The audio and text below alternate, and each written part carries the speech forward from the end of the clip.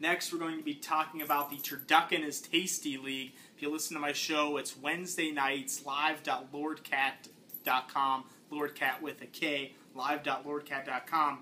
And uh, we do predictions and reviews and things like that of the week, previous week and the next week. It's a 20 teamer with pretty deep starting rosters. We start quarterback, two running backs, two receivers, a tight end, one flex, and we also start a running back or receiver, so kind of a second flex, or and then a receiver or tight end. It's kind of a third flex. So we have two a quarterback, two running backs, two receivers, tight end, and three flex positions in a 20-team league. It's pretty crazy.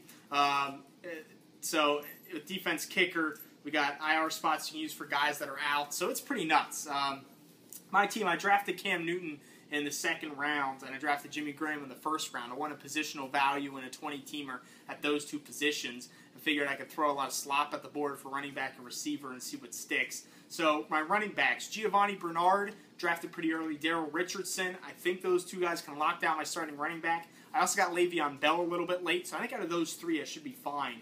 I drafted Danny Woodhead. It is 0.5 PPR, so I think he can help me out there. Um, I drafted on. I picked up Andre Brown. Someone dropped him after the leg thing, so fingers crossed. Maybe I can put him in one of my IR spots, which I'm probably going to do here coming up pretty soon. Um, receiver wise, let's see what I've got. I I feel like I'm pretty thin there. I have T.Y. Hilton, uh, Kenny Stills, Kenbrell Thompkins. I got, which I like, um, and then I, I just kind of picked up slop. I up drafting Tandon Doss, who got cut, but I drafted Michael Crabtree figuring he'll come back.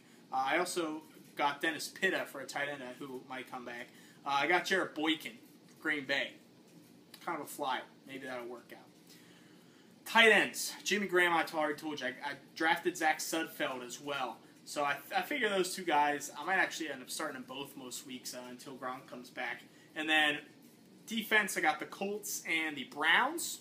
And then kicker, I got Caleb Sturgis and Dustin Hopkins. So personally, I, I like this team for a 20 teamer. I like this team, and I think I think it might work out. But this is going to be an interesting league. There's a lot, some good teams, some bad teams, some auto pick teams, and uh, it's going to be a lot of trash talk on the show this year. So be sure to listen in and, and, and tune into that.